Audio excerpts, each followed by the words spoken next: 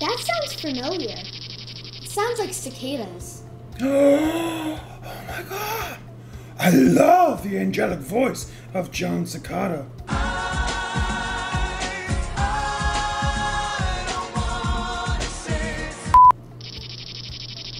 Does this sound anything like John Cicada?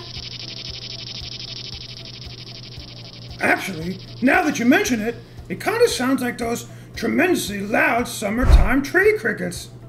No, not tree crickets. You know, cicadas. The insect. Are they related to John Cicada? Who's John Cicada? John Cicada! Not Cic- Oh!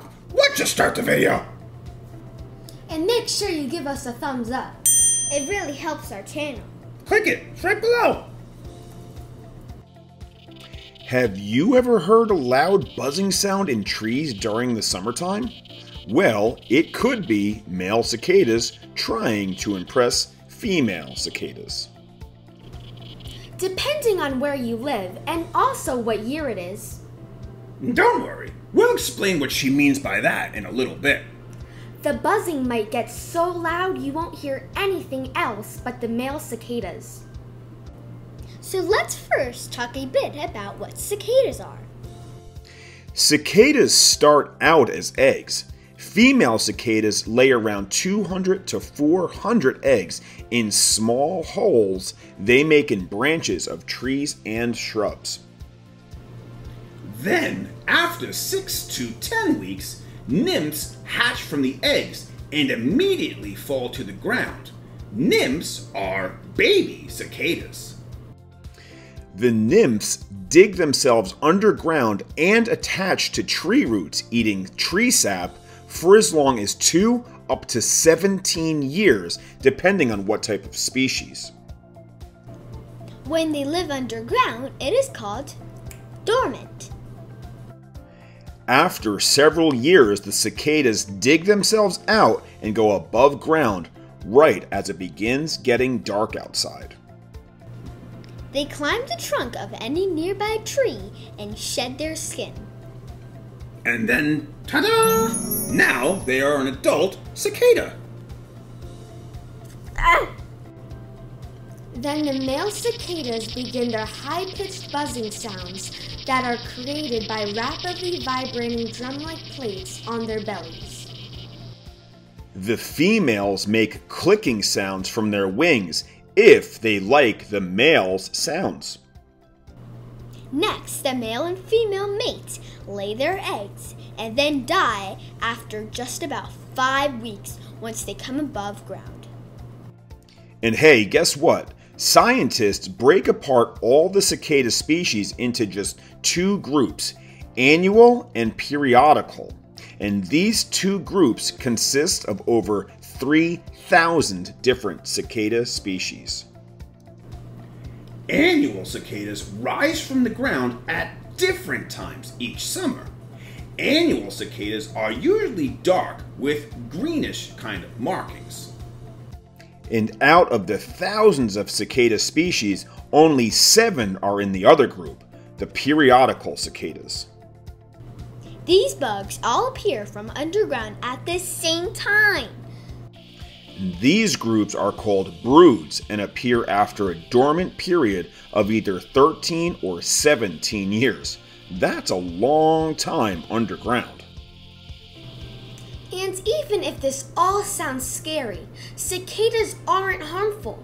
They don't bite or sting or attack humans, and they don't destroy crops.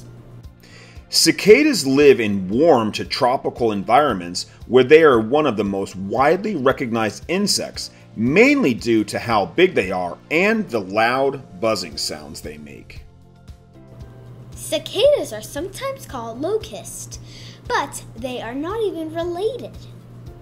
That's right, Quinn. They're actually related to leafhoppers or spittlebugs. And even though cicadas are very loud, some of the smallest species have songs so high pitched that humans cannot hear them. And many male cicada species gather together when calling, and this makes their noises even more loud.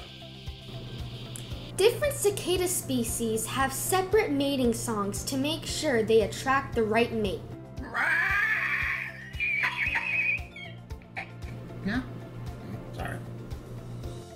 And many cicada species also have a clear distress call when they are in trouble from a predator. So, what do they look like? Get out of the way!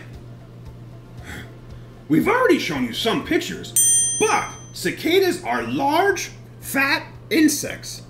Hmm, is this a cicada? Oh, it's your ear. They have round, bulging eyes on the corners of their heads and short, spiky antennae.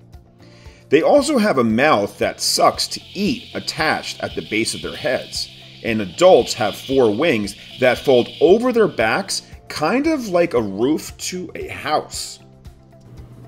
They also have special areas on the sides of their bodies called tymbals. And they use their tymbals to vibrate very fast to make their loud sounds. Earlier, we mentioned that young cicadas are called nymphs. Nymphs do not have wings, and their front legs have thick claws for digging underground. Cicadas need trees or large shrubs to feed on when they are nymphs, and soil that is not too damp. Hey, guess what? Adult cicadas are active during the daytime, but very little is known about the behavior of cicada nymphs when they are dormant underground. Cicadas spend most of their lives sucking juice from the roots of trees, and when they do pop out from the ground, cicadas don't usually move too far from where they came out. They move to nearby trees. So, cicadas are pretty big, so you might be wondering what actually eats cicadas and how do they actually prevent themselves from being eaten? Well, pretty much anything or any animal that eats insects will eat a cicada if they can catch one. In fact, cicadas don't really have many ways to defend themselves. The nymphs hide deep in the soil, but adults will fly away from danger if they ah. can. And if they do get caught by a predator, they make a very loud buzzing or distress sound that may scare or startle the predator. Remember, we said that you don't have to worry about cicadas? But are there any things we should be aware of? That's actually a good question, Quinn. Cicadas don't have many effects on humans at all, to be honest. Well, they can be a problem when there are millions of them, because they can damage branches of trees when they lay eggs, but usually they don't affect people at all too much. And again, don't be afraid. I know that some people think that they might bite or sting, but that's just not true. Are cicadas endangered? That's another great question, Quinn. There is not really any cicada species that are endangered, but there could be some species that are hurt by the destructions of forests for building and things like that.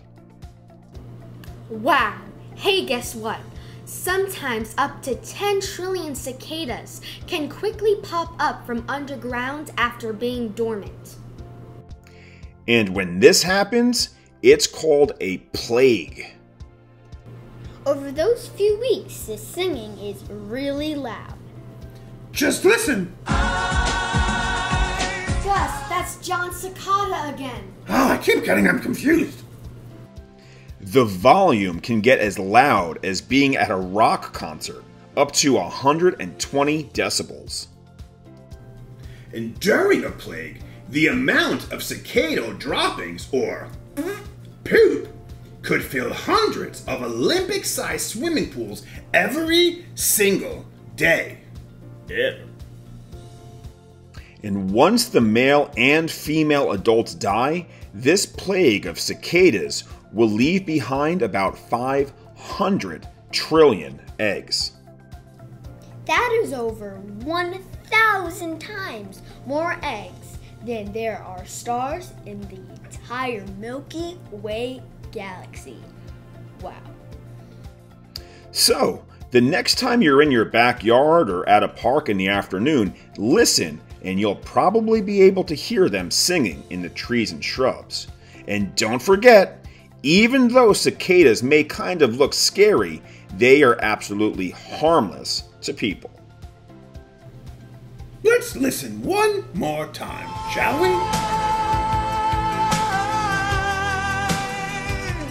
Gus, those aren't cicadas. That's John Cicada. Oh, right. My bad. Well, hey, guess what? Now we know all about cicadas and a little bit about John Cicada. Thanks for watching. Make sure you subscribe.